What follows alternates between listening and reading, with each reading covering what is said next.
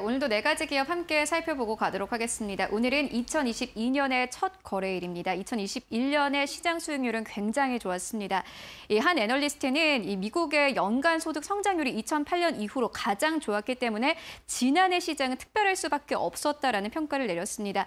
이번 해가 지난해보다는 좋지 않을 수는 있겠지만 여전히 성장성이 높은 기업들의 성장성은 여전합니다. 관련된 기업 네 가지 오늘 함께 살펴보고 가도록 하겠습니다. 네, 첫 번째 기업은 카카오 게임즈입니다. 지난해부터 주가의 흐름이 굉장히 좋았습니다. 2021년 한 해 카카오 게임즈의 주가 상승률은 무려 97%를 넘어갑니다. 그런데도 불구하고 2022년에 유망주다라는 이야기를 함께 나오고 있는 상황입니다. 일단 오딘에 대한 기대감이 아주 큽니다. 글로벌 시장에서 확장될 것이다라는 평가를 나오고 있는데 대만부터 상반기에 순차적으로 출시가 될 것이고 북미 시장까지 공략을 할 것이다라는 이야기들 나오고 있습니다. 오딘뿐만이 아닙니다. 엘리온 역시나 해외 진출의 성과가 본격화되면서 해외 비중의 확대가 계속해서 나타날 것이다라는 이야기들 함께 나오고 있습니다. 여기에 더불어서 최근 시장의 핫 키워드이죠. 메타버스와 관련된 이 기대감도 굉장히 높은데요. 넵튠이 주관하면서 자체 메타버스의 플랫폼을 준비 중이다라는 평가들 나오고 있습니다. 이에 따라서 매출이 상승이 되면은 밸류에이션 부담이 줄어들 것이고 이에 따라서 주가가 다시 한번 반등 흐름을 보일 것이다라는 이야기들 나오고 있습니다. 현재 증권사 측에서는 목표 주가를 평균적으로 12만 원대로 제시하고 있는데요. 2022년 카카오 게임즈의 성장률이 어떻게까지 또 진행이 될지 함께 체크를 해보시면 좋을 것 같습니다. 네, 이어서 두 번째 기업 만나보도록 하겠습니다. SK 바이오사이언스입니다. 긍정적인 부분과 부정적인 부분이 아주 확실한 기업이다. 이렇게 좀 정리를 해볼 수 있을 것 같은데요. 일단 실적에 대한 기대감이 아주 높습니다. 4분기 사상 최대 실적이 전망된다라는 이야기를 나오고 있습니다. 현재 증권사 측에서는 매출을 5,245억 원으로 추정을 하고 있습니다. 전년 동기 대비했을 때 무려 682% 넘게 폭증한 수치이기도 합니다. 하지만 앞서서 글로벌 뉴스에서 전해드렸듯이 노바백스에서 FDA 백신 긴급 사용 신청을 연기한 것은 여전히 SK 바이오사이언스에게는 부담이 될 수밖에 없습니다. 좀 최근에 특히나 이 노바백스와 SK 바이오사이언스의 주가가 좀 커플링되는 경향이 아주 강합니다.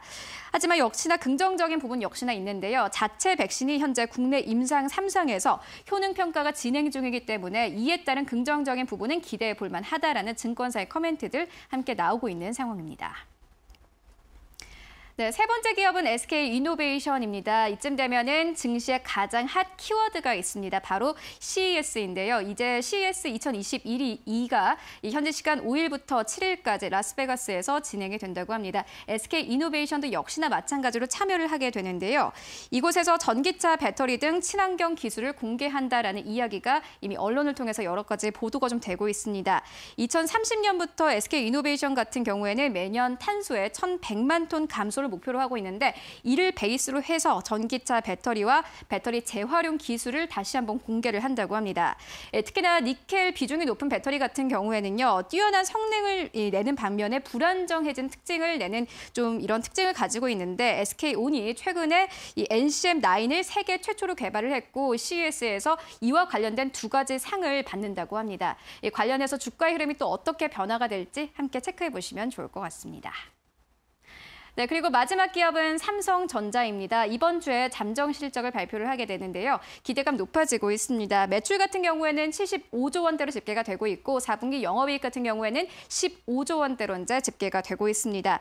연간 기준으로 했을 때 역대 최대 실적이 나올 것이다라는 평가가 나오고 있고 주가의 매력도도 높아질 것이다라는 증권사의 커멘트 나오고 있습니다. 2021년뿐만이 아니라 2022년의 영업이익에 대한 기대감도 아주 높습니다. 최근 증권사 같은 경우에는 삼성전자의 2022년 연간 영업이익 전망치를 52조 원대에서 무려 58조 원대까지 상향 조정했습니다.